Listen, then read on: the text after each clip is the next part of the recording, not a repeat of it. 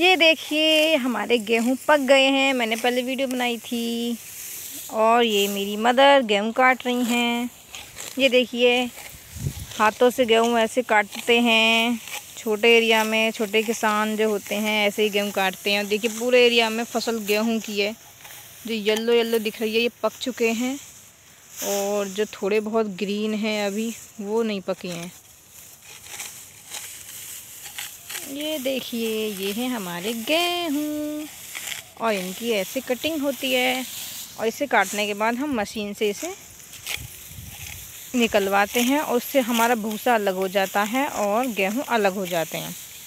इन्हें हम हाथों से काटते हैं क्योंकि छोटे एरिया में, छोटे विलेजों में मशीन का यूज़ कम होता है। ज़्यादा, काफ़ी ज़्यादा एरिया में होती है फ़सल, वो ही किसान मशीन का यूज़ करते हैं, वरना हम हाथों से हाथों से गेहूँ काटते हैं और मैंने पहले भी वीडियो बनाई थी, देखिए, ये नाशपाती के पेड़ हैं, इतने ग्रीन पत्तियाँ आ चुकी हैं, पहले ये खाली खाली थे।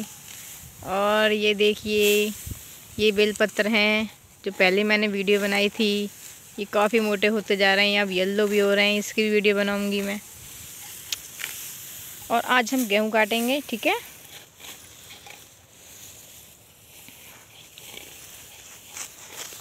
ये देखिए, ये हैं गेहूँ।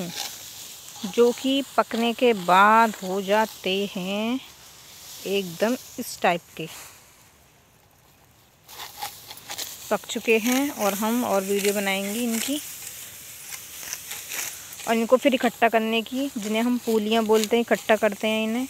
और वो पूलियाँ ही हम फिर मशीन में लगाते हैं, तब हमें